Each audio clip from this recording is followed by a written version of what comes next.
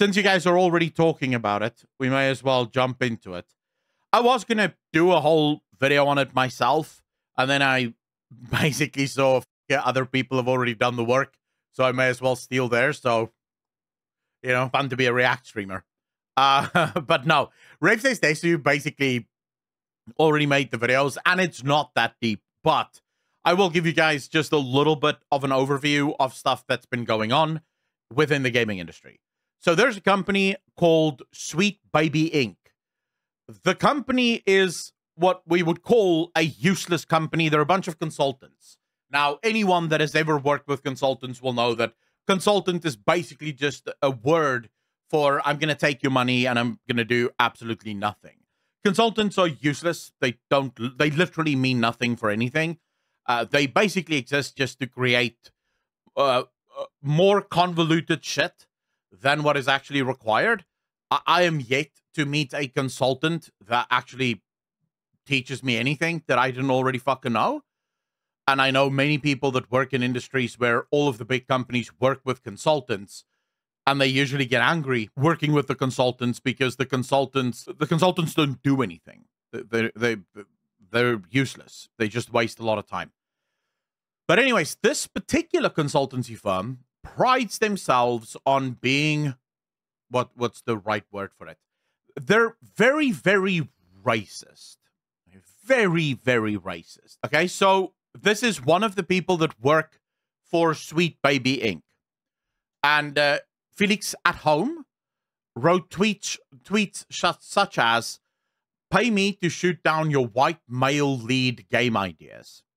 I usually get grossed out when straight white rich people kiss, but even I think those two are pretty cute. I just had a thought about trying this again with a photo of a young white person about to be ripped open, but I'm betting folks would immediately flag it as traumatic, and I'm guessing the image would get taken down before responses accumulated. Had a night had a nightmare that I was a white male gamer, right? So these are the kinds of tweets that um, that, that that this person wrote. And then of course we have the explanation from Sweet Baby Inc. as to how things are supposed to work. And this is really where things get I think super gross from a gaming perspective. We have to look at story and narrative as one of the things that we can innovate on.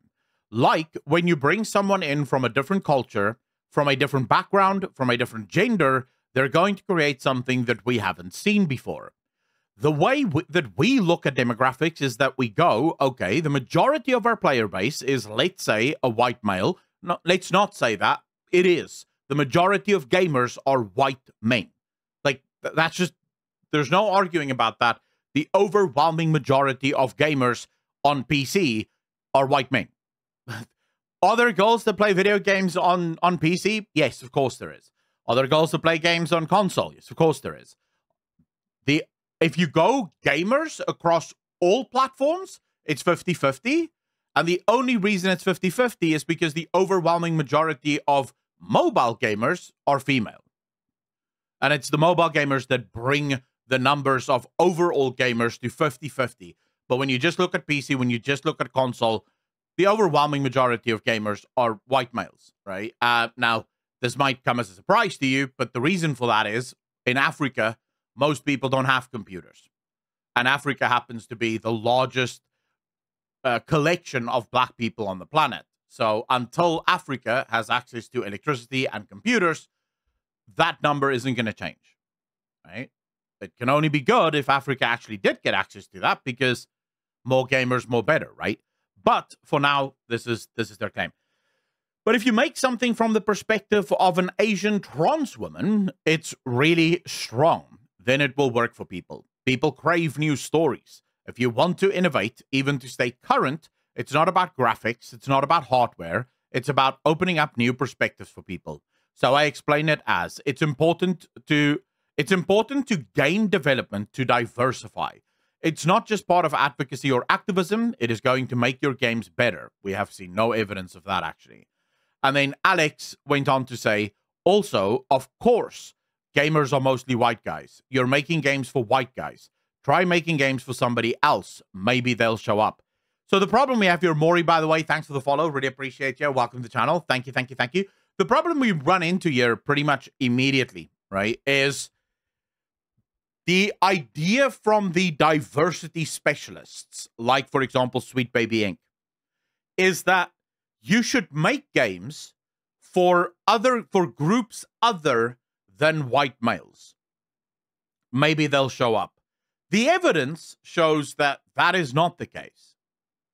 All of these groups, uh, all of the the feminists online and all of the you know people of color online and all of the gay people online none of them ever actually show up to play these fucking games that everyone claim is so good because when we go through the list of all these games that we are told are actually much better and the only reason we hate these games is because we're racist white men die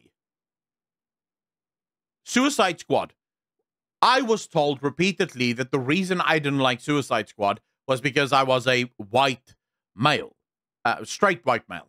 I think was the the word used, or the words used. The game's dead. Like all of those people that attacked everyone for disliking the game because they were racist, the game's fucking dead. No one's playing it. So where are all these people that claimed the game was super good and it was the best game ever? Where are they now? Like, am I right or or were they right? I, I don't know, right? It's, it's, there's no way to tell, really. But all right, so that is the backstory of all of this. So we're not going to watch the first video from Rev Says Desu because he's basically just going to go over the same shit there in this. No, straight white male. That means privilege to them. Courtney, absolutely. This just screams of a lack of understanding of the real world or a refusal to admit that the world is not what they want it to be. Look, the argument for me, right, has never been that you shouldn't have gay characters in a game, right? Or that you shouldn't have trans characters in a game. I have no problem if those characters are in there.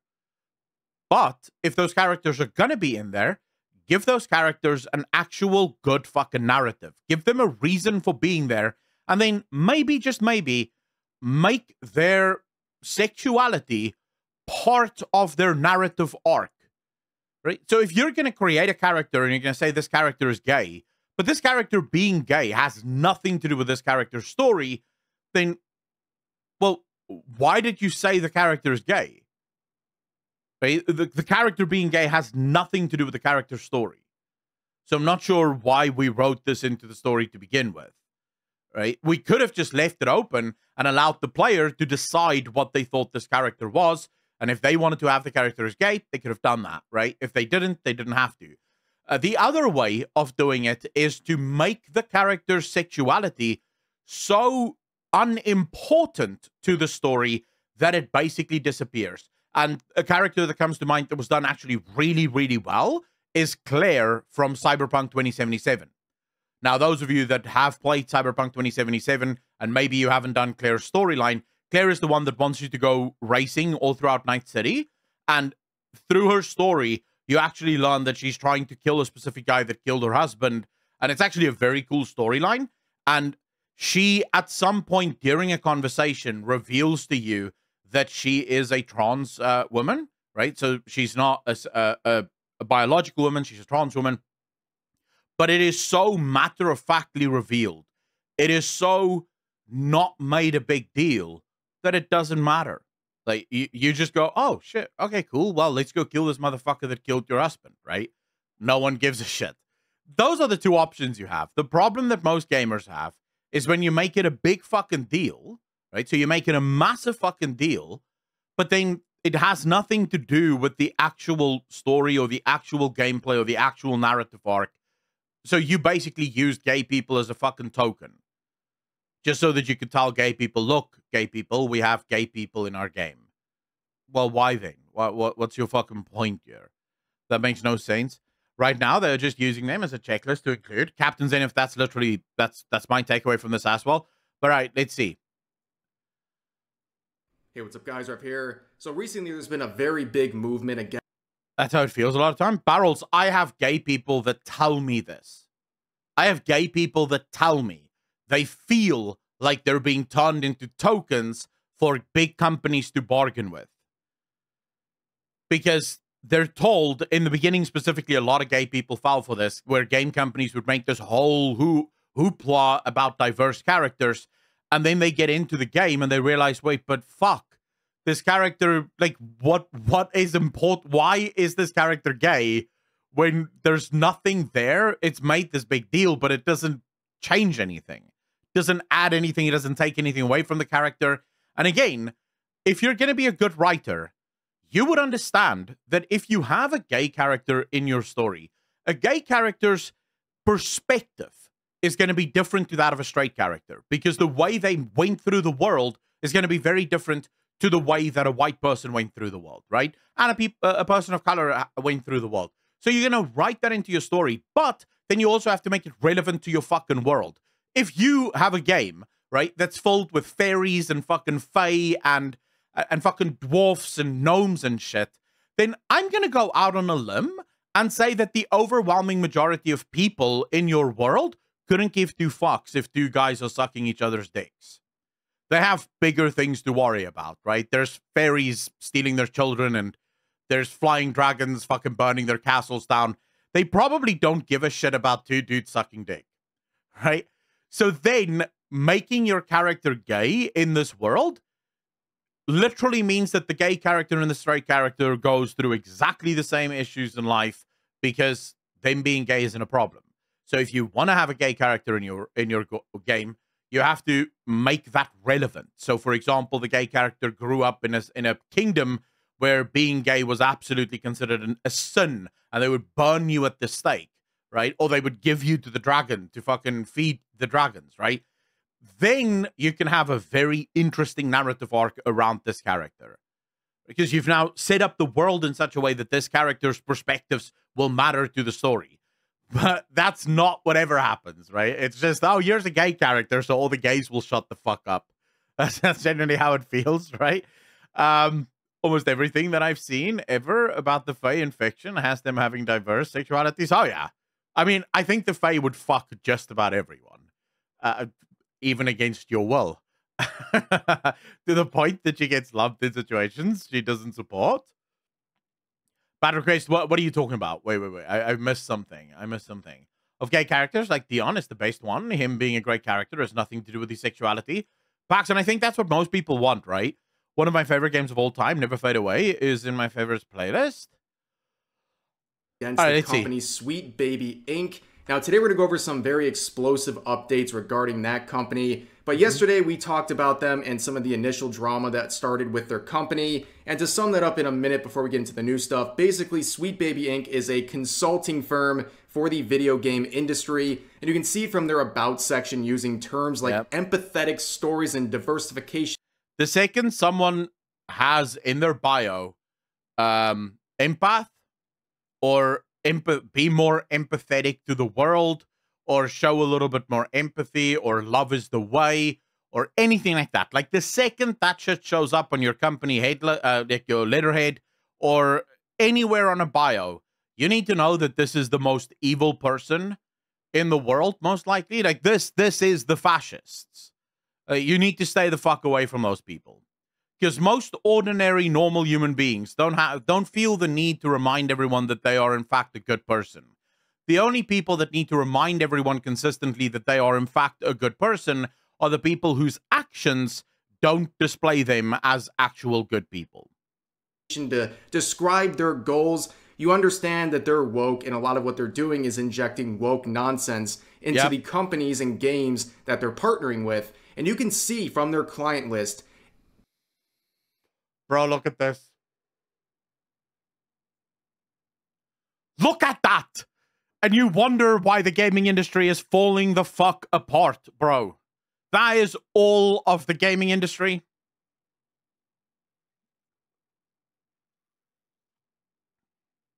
Who isn't on there? Oh, fuck me, bro. No wonder games are so shit. And if any of you are thinking Blizzard isn't on there, it's because Blizzard have an in-house counsel. Like Baby Inc. is, eh, they're not just partnering with Blizzard; they have in-house offices. So that's why, that's why Blizzard isn't on this list. They have gotten very deep into the industry despite only being around since 2018. You can see some of the names, very big companies. And here is a list of the games that they have worked on. And this Oh, this makes so much fucking sense, boys. Now, this makes sense. Oh, wow. God of War Ragnarok. Everyone complained about the writing in God of War Ragnarok. Now, it's important to remember Sweet Baby Inc. only helps with narrative direction and character creation, right? Character development. They, they don't touch gameplay. No one complained about God of War's gameplay a lot of people complained about the narrative direction for God of War. Like it just felt childish and shit. Um, Suicide Squad, exactly the same problem. Yeah, you should not be hiring these people to write your games for you. Like you should absolutely not. This is something again listed on their website, and a lot of people have looked at this list and said, "I don't even know the other games on here, but I don't want to play them." I never wanted to play Alan Wake 2, so who gives a shit? Is Riot Games on that list? I, I didn't see Riot Games.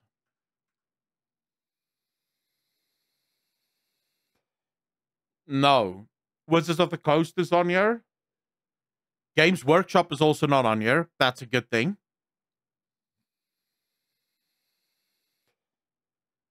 No. Riot Games isn't on here. Yep, that makes sense. That's why a lot of these games are failures because they have a bunch of woke nonsense in them, and that can be traced back to an identifiable source now, and that is Sweet Baby Inc. So, in response to this revelation a lot of people have had about this company, a Steam group was created called Sweet Baby Inc. Detected, and all this. You guys want to know why the free market is such an amazing place? It's this some dude decided to create a curator group, and it's called Sweet Baby Inc. Detected, where the group looks at games before they come out and then warn their users when Sweet Baby Inc. was involved in the development or creation of those games in any way, shape, or form. This is the beauty of the free market. The fact that we have this. And the group has exploded, by the way. Like, Sweet Baby Inc. tried to take these guys down and it actually they they had like six thousand members. They're now almost eighty thousand members. so the group has just exploded. This group does is track those publicly listed games that Sweet Baby Inc. has worked on, that is also shared on their website, and provides this to people so they know what games Sweet Baby Inc. is working on so they can consider that before they make the purchase. Yeah. Now, in response to this, about two days ago, multiple employees of Sweet Baby Inc. went on, went on a tirade on Twitter, including this user who led an entire harassment campaign against the creators of the group and demanded that their followers report this group and its creator. You can see also this Felix at home individual with the at Lego Butts as their username would also join in on this, trying to get this Steam group taken down. Now, of course, this had the Streisand effect, where they're complaining about this Steam group only increased awareness of this group, and yeah, it has exploded in popularity and now has over 60,000 followers and is growing by thousands. I think it's actually larger than that now. I, I, saw a screenshot of it, but I have not verified it. But I don't even know where the fuck you go to join groups on Steam. That's how much I do not look at forums in video games thousands every single hour. And I ended yesterday's video with this tweet from Grummz, who has been around the related industries for a very long time.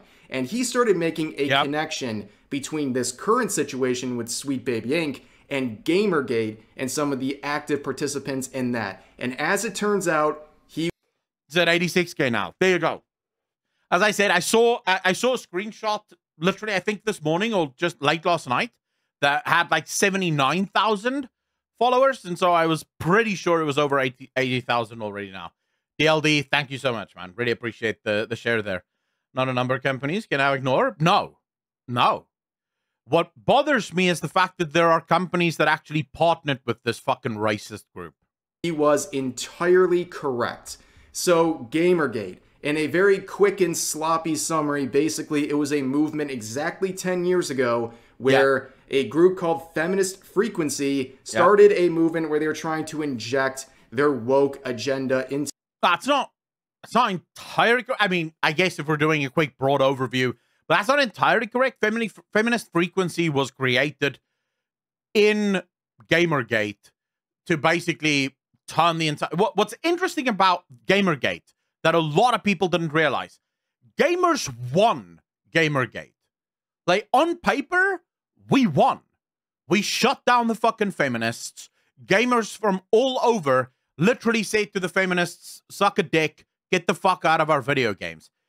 But, and this is what makes these sort of cultural battles so very fucking scumbaggery or scumbaggy. They won the culture war in the long run. Because while the gamers managed to successfully reject the feminists, the game companies sided with the feminists. Now, you have to start asking yourself a question here. If we are in a free market system where wanting to get the consumer, right, and the most amount of money out of the consumer, why would the gamers win, successfully reject the feminists, and push the feminists out of their spaces?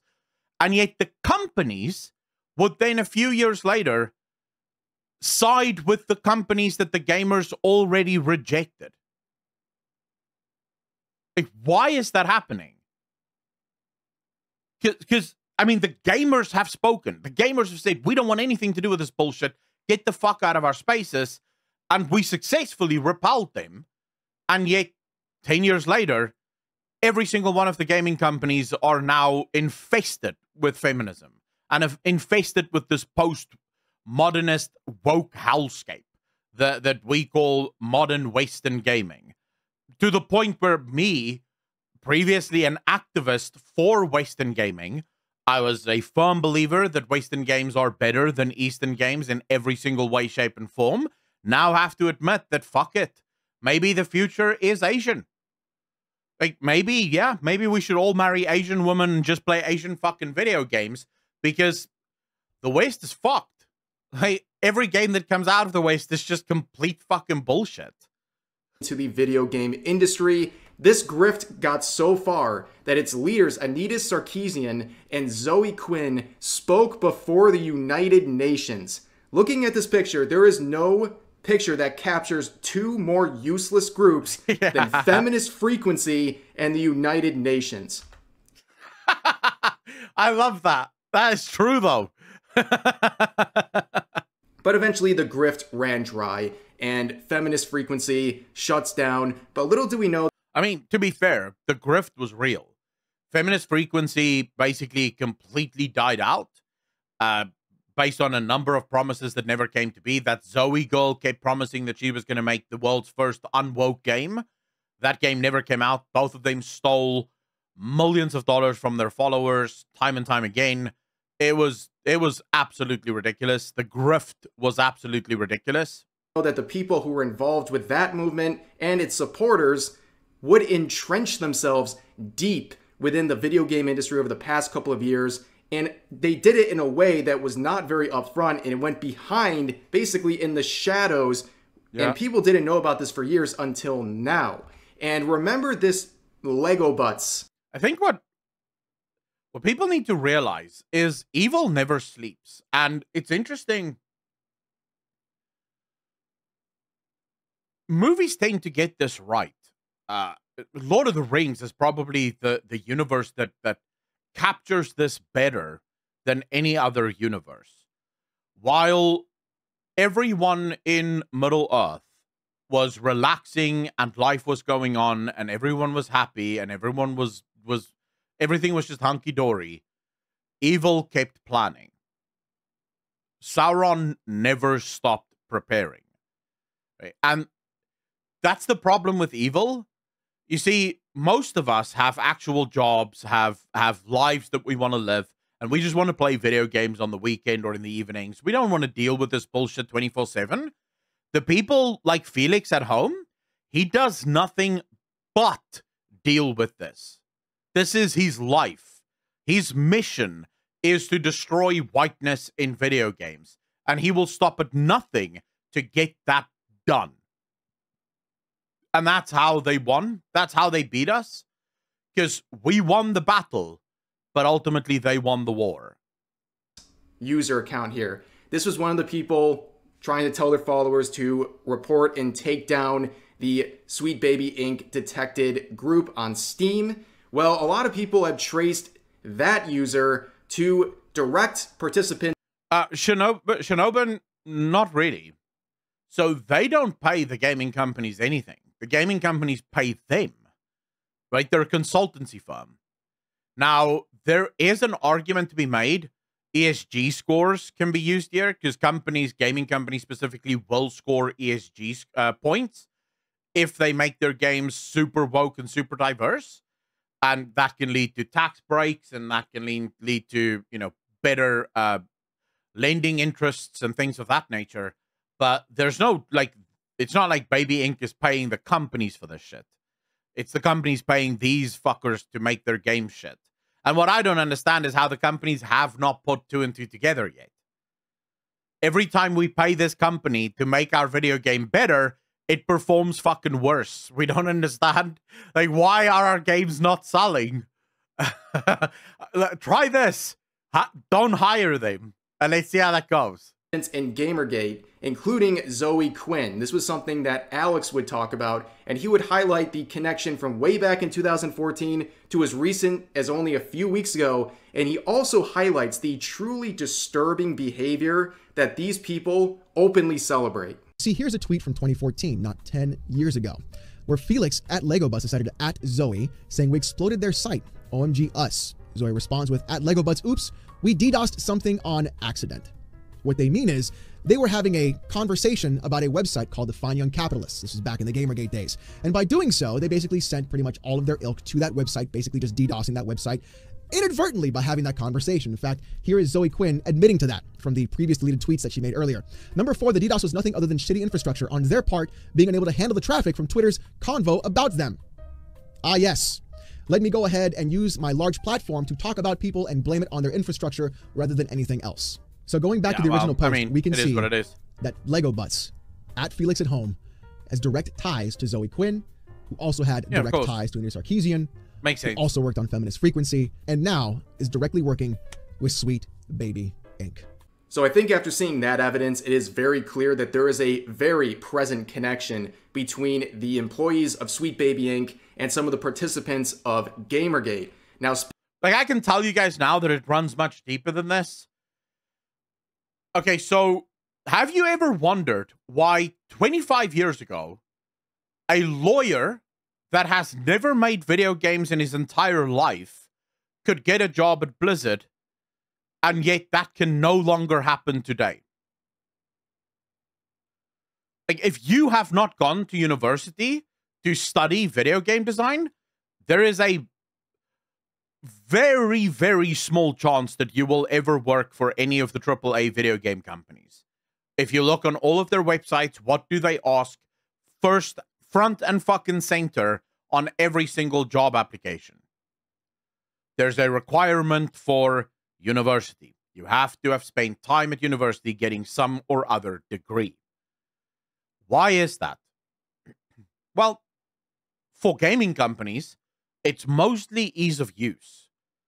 I can take a, a, a shot on a random nobody that loves video games, and maybe it works out, maybe it doesn't but I have no idea of knowing until I actually see the person in in at work. Or I can hire someone that went through university and I know at least to some extent they know how to make video games. These guys, the guys from Sweet Baby Inc., all of these woke guys, they have infected the universities. So now the problem is no longer just that you have groups like Feminist Frequency who no longer exist, Sweet Baby Inc., who will probably no longer exist in a few years from now.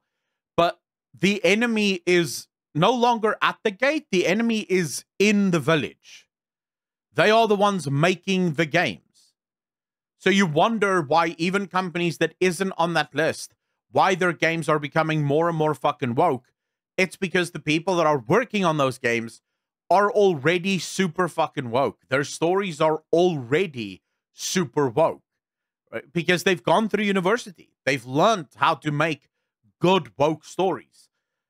And it, it's sad because I bet if you gave me a month, I would be able to write a very good story without using a straight white male in my story at all. Like, if you really gave me a month, I would be able to do that. Without a single straight white male, I would be able to write a, a very good story. Just by not making it about the people's sexualities, just making it so that they happen to not be straight or white or male. But of course, that's not the point. So if there are, if the, if the idea really was that you wanted people from different sexualities and different races being seen, why would you then make the story so shit around these people? It almost feels like you're wanting, you want the opposite to happen. It's not that you want people to know that trans people exist or that people need to know that gay people exist. It's like you want people to hate these people because you keep making the stories that include them shit. So what the fuck is going on? Like, are you actually allies or are you in some weird way the enemy? I don't understand what's going on. Prison infects like a bad case of syphilis. True bad request. Speaking of those participants, you have people like Lego Butts here, and a lot of people have been dredging up their tweets, including recent ones from only a few weeks ago, like this, which states, I usually get grossed out when straight white rich people kiss, but even I think those two are pretty cute. I mean, first of all, like, what is this? Uki Violetta's burner account or something? Like, what's going on here? But there's been a lot of other tweets people have been looking at from this Sweet Baby Inc. employee, including this one in quote saying, I'm so mad because they killed the billionaire who turned evil that I'm going to show how racist I am, end quote, is honestly no a pretty funny take to have. Now, this is a reference, of course, to the final scene of Suicide Squad right. Kill the Justice League. Now, the reason people were upset about this scene had nothing to do with billionaires or racism or anything like that. People were very disappointed by this game as a whole, but particularly this scene because the lines delivered by Batman were the final lines delivered by the now late Kevin Conroy, who is considered the voice of Batman, someone who is beloved within the related franchises. And that's why oh, people okay. were upset because they felt like his final lines of his career were wasted on a bad product. However, let's talk about Suicide Squad some more. This was an absolute failure of a game where even Warner Brothers has come out and said basically No shit, Sherlock. Warner Brothers says that Suicide Squad Kill the Justice League has fallen short of our expectations. You don't fucking say. But I was told on Twitter that the game is incredible. Like people told me on Twitter that I'm just a racist for not liking the game and that the game is actually the best game ever. So why is it not doing so well? Could it have something to do with the fact that, you know, straight white males just uh control how good games do or could it be that the game is really just shit? I don't know. I mean, I, I genuinely don't know. Like, where are all these? Uh, like, dude, what I don't understand about half of America itself is left wing, right? Or, or, at least on the left. The other half is on the right. Um, you would argue that that's probably worldwide the case. Half of pe- half of people around the world is left. The other half is right.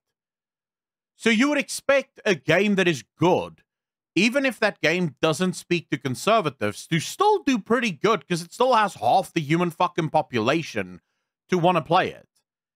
But as it turns out, not even the people on the left want to play these fucking games. So clearly, these games are only made for people on the far left, and the fact that these games keep failing should fucking tell you that there's not that many people on the far left. Because if there were all those people on the far left, this would not happen. These games would do phenomenally well. Highly, but people aren't buying playing it. Well, that's the funny thing, Pax.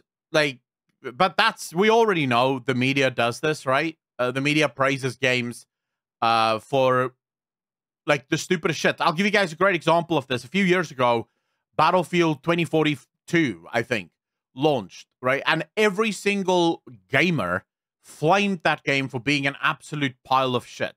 IGN comes out and they give it a 7 out of 10. Like that's their score, 7 out of 10. You read IGN's article and the entire article is fucking negative.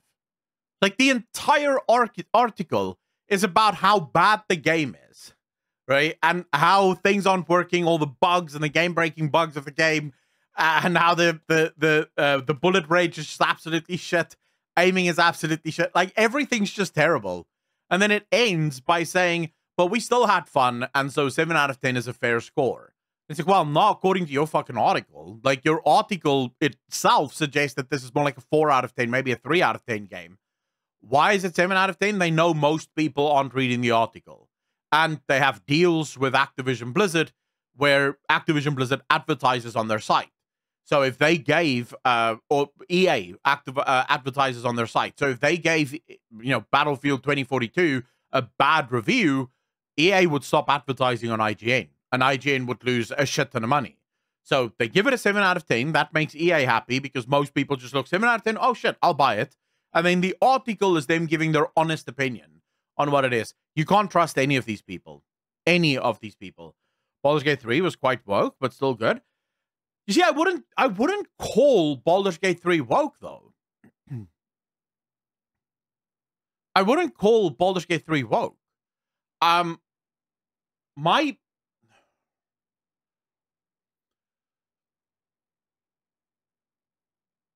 I, I guess it depends on your definition of woke, right? But if we're talking about woke in the truest sense of the word, what I view this as is people pushing their politics down my throat with me having no ability to escape it. Right? So every everywhere I turn, their politics is all up in my fucking ass and I can't get out of it. Right? There's nothing I can do. I have to eat their fucking politics and I have to deal with their consistent fucking preaching to me. That is what I consider to be woke. Baldur's Gate 3 gives you the, a choice on how you want to deal with everything. Like you can either engage in the more liberal woke stuff of the game or you don't have to at all, right? So it's literally like you can be as conservative or as liberal as you want to be in Baldur's Gate 3. And I've never had a problem with that because most of the greatest games that I ever played gave you the option to play the way that you wanted to play without being forced to, you know, without having politics forced into your fucking, um, it, it, you know, down your throat or whatever. Exclusive which just happened to include things that are considered woke. Yeah, I would say Baldur's Gate 3 is sort of a game that was literally made for everyone. And they included elements of everything for everyone but you as the player have complete freedom over what you choose to engage in and what you choose not to engage in at all, right? Uh, and just to be clear, Kiro, the the main in Baldur's Gate 3 coming on way too fucking strong, that was confirmed to be a, a bug. Uh, it, it, it had something to do with a romance bug. And what it happened, what it did was it made female characters way harder to romance and male characters would basically fall in love with you just by you walking past them. Which, technically speaking, one could probably argue is very realistic uh, to some extent, right? I remember when we were playing it, I went up to Gale and I asked Gale, "So why do you keep fucking eating all of my my magical items?" And the next minute, Gale thinks we're fucking married. I'm like, "Dude, what the fuck are you talking about?" I asked you a simple question I, I was just curious why the fuck you keep using all my items and now we're married? Like, are you for real? I mean, my relationship with uh, with Shadowheart kept progressing. I mean, Gale got fucking jealous. And I'm like, bro, are you high? Like, there's nothing between us. I told you earlier, I don't view you as such. Uh, but it was it was fucking hilarious to just see that, right? But it was confirmed to be a bug, and it is no longer as it was before, right? Um, so I would say, in that sense, I think it's a fine game. Have the options there. I think that's how games should be done. You know, include all of the options for any type of person to be playing it, but don't force people down a road that they don't want to go in. Give people the freedom to play the game that they want to play the way that they want to play it. Basically, uh, lesser companies would have gone bankrupt based on how badly this game is performed. Now, of course, Suicide Squad Kill the Justice League is one of the games listed on Sweet Baby Inc.'s page as one of the games that they have worked on. Things are starting to add up, aren't they? Mm-hmm. Which leads us to another person we haven't talked about, another employee of Sweet Baby Inc., the CEO right yeah. here, Kim Belair, who has a very, very interesting history. Uh, it's a Gundam did a really good rundown in his recent video about her. I'll put a link to that in the description. But basically, Epic Thulu, I mean, I, I don't know. That's not what woke is. Woke has nothing to do with mixed races or not mixed races. You could literally write a woke story by using all white, all straight characters. It could be woke, right? Uh, if you so here's the thing. If we go to the original definition of woke, what is woke?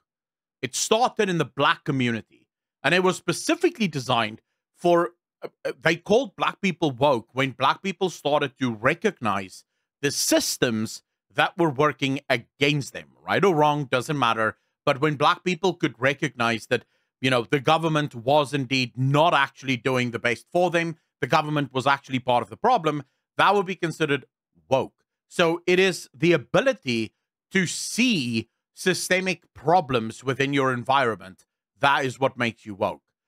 The modern day definition of woke is when every system is problematic and therefore every system needs to be torn down. That is what makes something woke.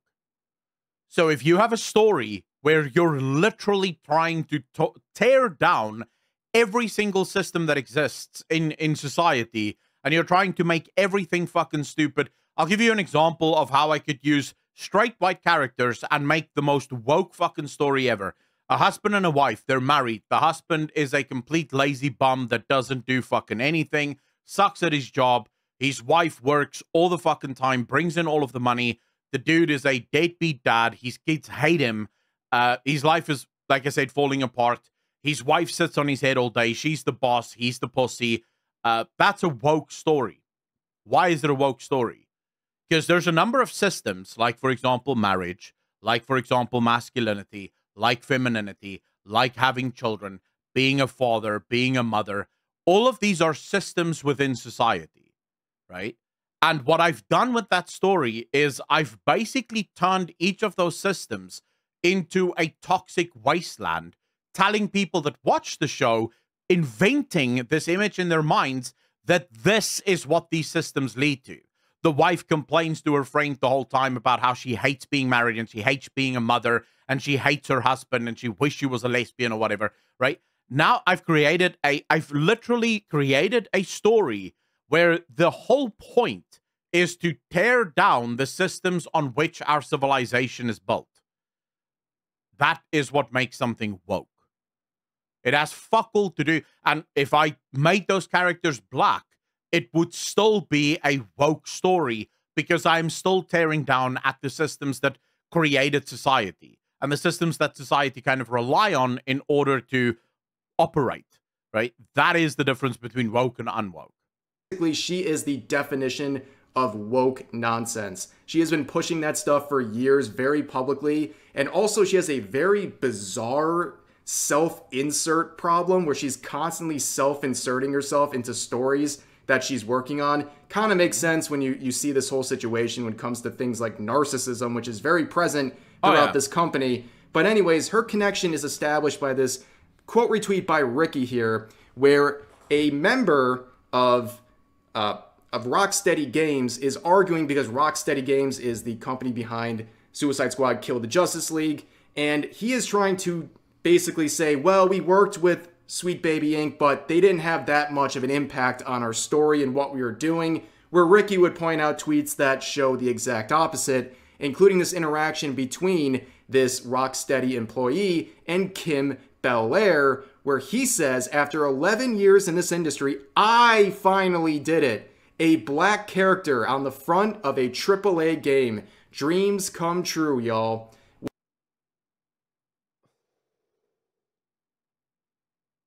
Aren't there like FIFA and Madden games that have black characters on them already? Cyberpunk Phantom Liberty has um, Idris Elba right there on the fucking front cover of the game. So what the fuck are we talking about? Like you didn't do shit, bro. You weren't even the first. Like this has happened like long before you. So I don't know what the fuck you're on about. like for them doing a black character on the cover. Yeah, I'm pretty sure this has happened like a, a lot. Like I'm pretty sure this isn't like a new thing.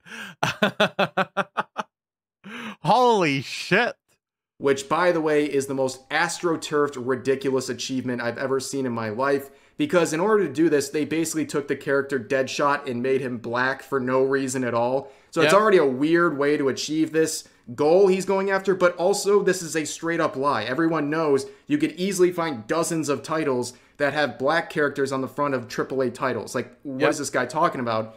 But you see Kim down here praising this tweet and responding to that this employee of Rocksteady Games says, So glad you were present to help mold his character, Kim. Didn't have an impact, huh? I think it's very obvious based on this exchange that Sweet Baby Inc. had an impact on Suicide Squad, Kill the yep. Justice League. I think it's very obvious based on this exchange, take care as yourself, well as the overall direction of the game and some of the choices that Rocksteady Games made. Now, this individual from Rocksteady Games has been fighting in the trenches with two very conflicting goals. On the one hand, trying to praise Sweet Baby Inc. for helping out their game and making great choices, but on the other Fucking hand, trying asshole, to downplay man. their contributions to save face on Twitter. Obviously, this isn't working very well, and also I can think of nothing more poetic than this screenshot right here. So currently, there are more people connected online in the Sweet Baby Inc. curator group than there are for Suicide Squad Kill the Justice League. Yep. Ouch. That is. May I just say, ladies and gentlemen, in the future, when you see me celebrating layoffs from companies, uh, please understand that I am now more convinced than ever that when these companies lay people off, it's people like this fuck that worked on Deadshot over here. It's Dead White. It's someone that wasn't required in the industry anyways. Uh, no gaming company is going to fire or lay off their best developers. Gaming companies are going to get rid of the people that are bullshit and aren't needed. So, yeah, it's fine, right? Let them lay off as many people as they want. The gaming industry requires it. Otherwise, we're fucked. Making every FIFA cover for the last uh, 10 years. Well, there's a black person on the on the FIFA cover. What do you know? And this was uh, 2005, no less. Wow, wow, wow. There's another black guy on there. Or he's Brazilian, but he's he's black. That's in 2008. Um, oh, this was a bit problematic. At least it's not just the white guy on there in 2014. Oh shit, 2004 even. Wow. Wow, wow, wow. Two black guys. Can you imagine in 2004? The racists weren't doing their job back then. Fuck me. Oh, this is a problematic one, boys. This is two white men. Oh, 2012 was not a good year for FIFA. Uh, another white guy on the cover. Yeah, not a good year for FIFA. 2001. I don't even know who the fuck this is, but okay. Uh, 2016. Oh, there's another black guy over there. Uh, another black guy over there two white guys, that's problematic. Another white guy, another white guy, a black guy, another black guy. So what what the fuck was this guy saying again? He was saying how he after 11 years he managed to get the first black guy on the cover of a game. We have evidence going back as far as 2004 of that shit happening. So I don't know what the fuck that guy's on about. Very embarrassing for a AAA title, which by the way, only released a month ago. So the fact that they're down to around 500 in-game yep. players is and this is a live service game, ladies and gentlemen. Don't be fooled by thinking this is a single player game. It's a live action game. It's a live service game. The idea of these games are that they should be played for years and years and years and years and years. The fact that the game only has 559 in-game players a month after its launch, and you have games like Palworld, you have games like Enshrouded, you have like literal games that aren't even that live service still getting more? That should tell you something. Very very bad and this really just captures the movement right now okay people are saying no to the woke nonsense and the bad titles like suicide squad kill the justice league and they are rallying behind this sweet baby Inc. detected group because it captures the concerns of a lot of gamers that they've been having for years, but now they have an identifiable source that yep. they can link to these problems with the games that they've been consuming over the past couple of years. But moving forward, this probably doesn't surprise anyone at all, but there has been uh, claims that members of Sweet Baby Inc. and their supporters have been Post. leaving some very interesting reviews and posts on this community yep. page for the Sweet Baby Inc. detector. Now, this wouldn't be very surprising if there was some involvement from Sweet Baby Inc. because let's face it, a lot of the people from the Gamergate movement have made false posts all the time. Who could forget this one from Bri- Brianna Wu, who was a member of Feminist Frequency, who made this tragic tweet trying to garner sympathy, saying that she was being attacked and her game yeah, was course. getting review bombed by angry men and things like that. Well, un- I told you guys before, never believe anyone when they fucking tell you um, never believe anyone when they tell you that they're being attacked or that they're being harassed or anything of that nature. Uh, they're lying. There's no screenshots of that. There's no evidence. It's just them pretending. Unfortunately for her, she never logged out of her developer account. So when she posted the screenshot, it made it very obvious that she was writing her own hate comment. Oh, fuck. Dude, caught Oh shit! I didn't even notice that. oh shit! Still logged into her developer account, writing her own hate thread. Oh man. Imagine how fucking sad that is. You're so irrelevant that you have to you have to write your own hate threads. Oh my fuck. yeah, that was embarrassing. But let's read some of these discussions on the Sweet Baby Inc. detector page. So this person says, let's diffuse this situation. I know this group claims it isn't trying to kill Sweet Baby Inc., but this is exactly what will happen if you don't stop now. Not all SBI employees are as unreal. Okay, Adraxis, I need you to understand something.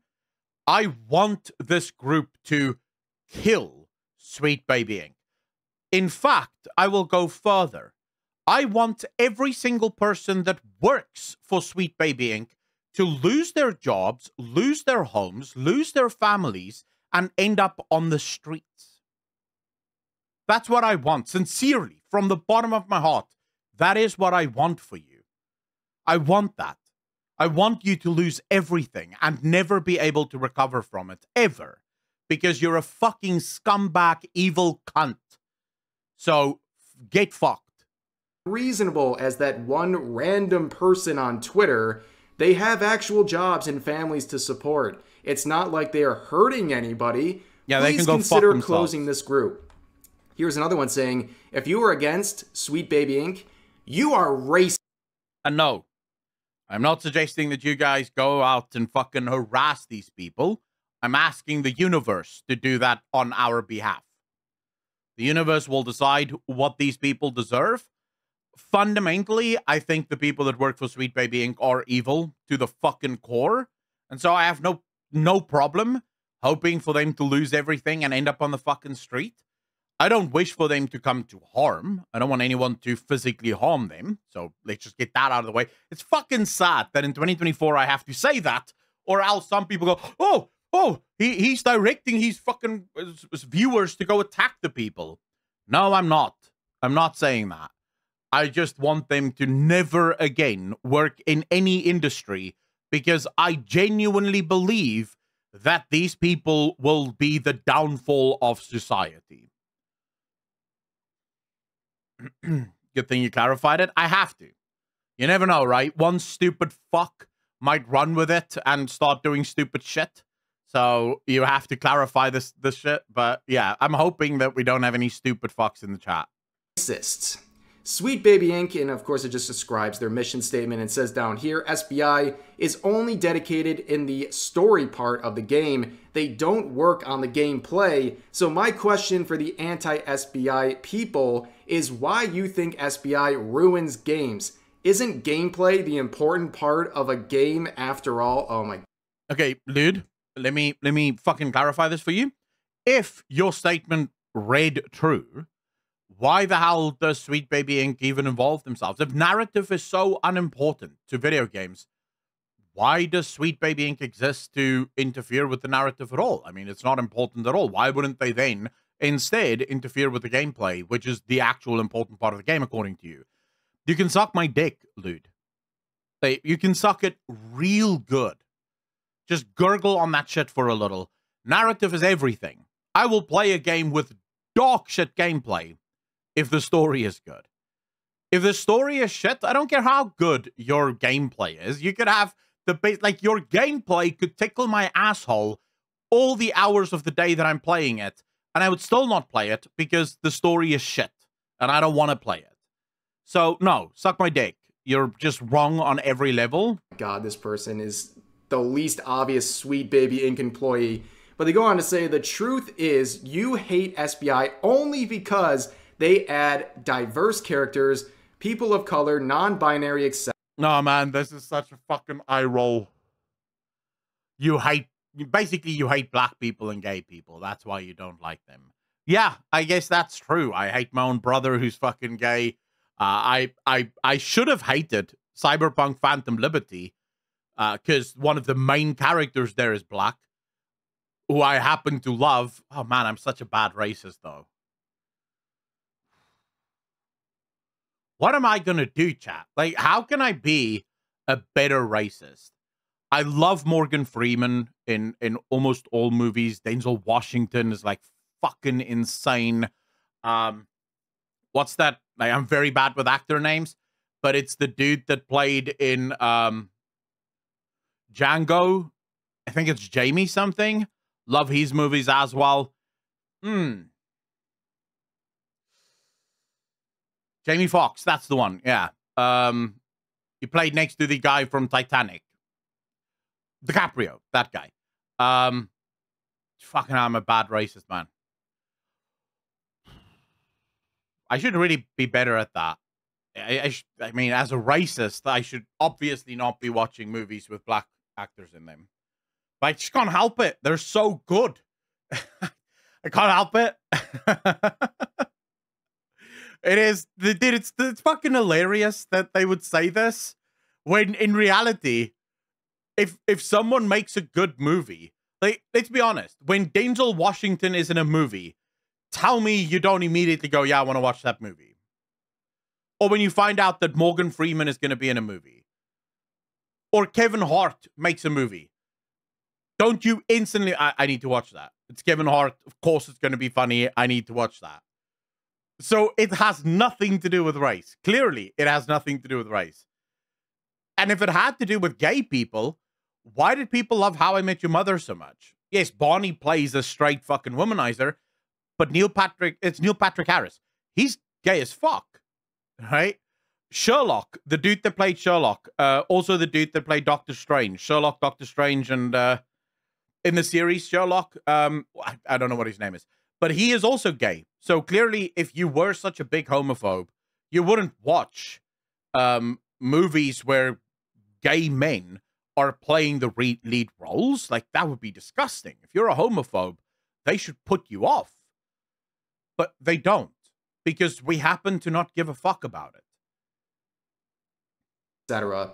Anything else is just a cheap excuse. Your curator list is as racist as if you made a list of all games with black people in it.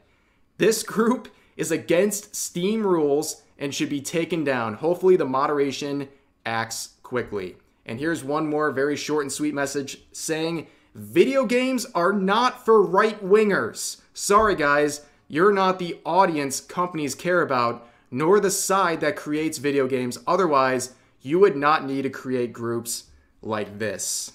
Also, there's a lot of if if that person's definitions are correct and they're saying I'm pretty sure Benedict Cumberbatch is gay. I'm pretty sure he is. I think he actually said that in an interview once. I could be wrong. I don't follow the fucking actors all that well, but I remember watching an interview where he did say that he was a gay man. Um, but never mind that. The if we go by his estimations, right, and he is saying that we just don't like these games because these games aren't made for right wingers, and that means that all of the games that we love are made or are right wing games, then games are about to die because all of the quote unquote right wing games did super well and made a fuck ton of money. But all of the games that are made for the left wingers are not making money. They're they're doing absolutely shitty. So what exactly is the argument? How how does that work? Married to a woman? Oh shit, I didn't even know that. Then who did who said that? Was it an interview with him and someone else then? And the someone else said they're gay. I don't know. I'm pretty sure it was a Doctor Strange interview, but then again, I don't remember exactly what the interview was about. Like I said, I don't follow the actors all that well. I just hear stuff and I watch sometimes some of the interviews that they're a part of, especially if it's like movies or shit that I care about. And had to defend it. It could be that, Alderson. So maybe I was watching an interview about the gay character that he played and him defending it and I didn't know that he was defending a uh, like I didn't even know he played a gay character in a movie. But all right, maybe it's that. Maybe that's where I got it from. I'm not super tuned in on uh, the actors' lives. There was an interview where they asked him about straight actors playing gay roles. Maybe it's that. I can't even fucking remember. I just remember him saying once something about being gay.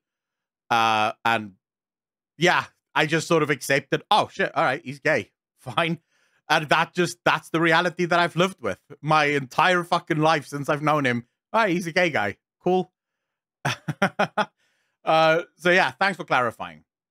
Love to be told, because I'm right leaner. I'm not allowed to play games. I'm not even a right leaning fuck. Like I wouldn't play a game that's made specifically for right wingers. I would find games made specifically for right wing people very boring. Because again, if you go to the far left and the far right, the amount of restrictions that exist in what you can and cannot create would ultimately just lead to not good things being made.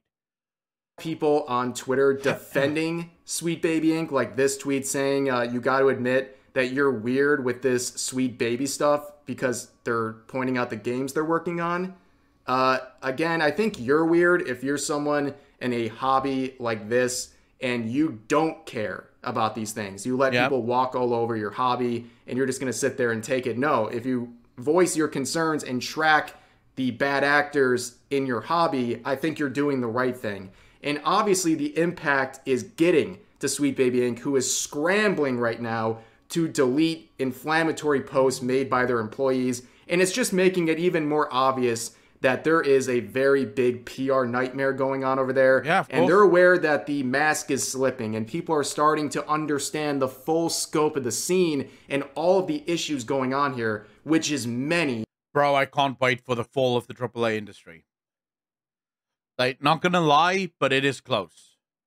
The AAA industry is completely devoid of creativity. It's completely devoid of talent.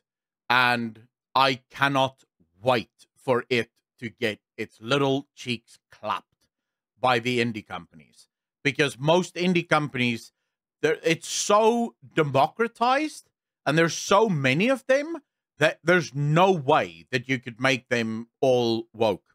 It's just impossible. There is not enough resources in the world to make all of them woke.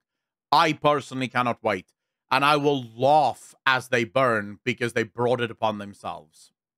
In the video game industry and the impact that Sweet Baby Inc., its members, its supporters, that they're having on the gaming industry. People now know an identifiable source of a lot of the problems that gamers have been dealing with for years now, which really could stem back all the way to the original Gamergate. And the pattern is very obvious, and the players are becoming more and more known. But that's yeah. going to do it for this video. I hope you guys enjoyed. As always, share all of your thoughts about today's topics in the comment section down below. Yeah, I mean, 2023 and 2024 is proving that the end of the AAA industry is nigh. It is just around the fucking corner, boys. Uh, you okay? So I had people disagree with me uh, in my last video about uh, indie games killing the AAA industry, claiming that Helldivers 2 isn't made by an indie developer. A quick Google search will tell you that you don't know what the fuck you're talking about. Sony published Helldivers 2, but Helldivers 2's developer is a Swedish company, and it's absolutely an, indevelop, uh, an independent studio. It, we call studios independent when those studios aren't attached to a specific publisher. There are plenty of independent studios that happen to be published by larger publishers every once in a while when they have happen to have a hit game and the publishers are willing to take out millions of dollars in order to pay for that game. But a studio that isn't attached to a publisher is called an independent studio because they don't have a permanent publisher that basically just fronts them all of their money to make whatever the fuck they want to do. So, Helldivers 2 is absolutely an independent developer. Uh, Palworld comes from an independent developer. Uh, I believe Enshrouded comes from an independent developer. Nightingale comes from an independent developer. Uh, Manor Lords is going to come from an independent developer. You have so many games now. Cyberpunk is an independent developer. Baldur's Gate is an independent developer. Last Epoch is an independent developer. Bro, the W's are stacking up, and the AAA industry is taking dick after dick after dick right up the asshole against their will. Well, we should say that they are inviting it because they are the ones making these video games. Last Epoch is absolutely shitting on Diablo right now. Diablo 4 from the large AAA studio. It is it is truly funny to see. It's beautiful. I love it. Battle yeah, I'm not even going to go patch through all of the indie games out there, but it is interesting when is the last time that people got super excited about a game that was a triple A game? Can you guys even remember? And the game actually delivered. So it wasn't just hype and then fell flat immediately afterwards. It it's like the hype was there, the game launched, and everyone was like, shit, this is the greatest game I ever played in my life. When's the last time that actually happened? I guess you could say FF7 remake, yes. Uh, but that's Eastern games, so we can't even talk about that as being a a a Western game. Uh, the thing with BG3 Truffle Shuffle, uh, uh, Larian Studios is absolutely an independent developer. So even though Baldur's Gate had the budget of a AAA game, it is still made by an indie studio.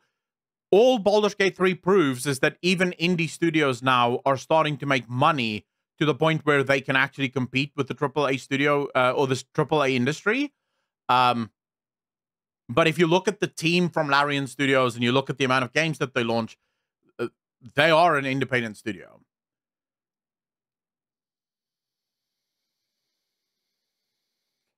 But it's not released yet. Hogwarts. Wait, was Hogwarts? Yeah, Hogwarts was Warner Brothers. Um. Okay, I think Hogwarts is probably a good bait, yeah. For being from a, a very large studio and also happened to land. You know, people enjoyed Hogwarts Legacy for the most part. I mean, fuck. If we if we compare it to all of the duds, though, it's it's actually a little um it's actually a little sad. Uh, even even the problem with God of War a lot of people complained about God of War Ragnarok. People found the story to be very childish and nowhere near as good as God of War 3 or God of War. just the God of War, right? People felt like the sto- the gameplay was obviously really good, but people felt like the story was a little shit and childish at times. So I would still not argue that God of War Ragnarok was as big of a success. Um, it did have its downsides, and we already know that Sweet Baby Inc. helped on the narrative side of the game. So they are to blame for that part of the fuck up.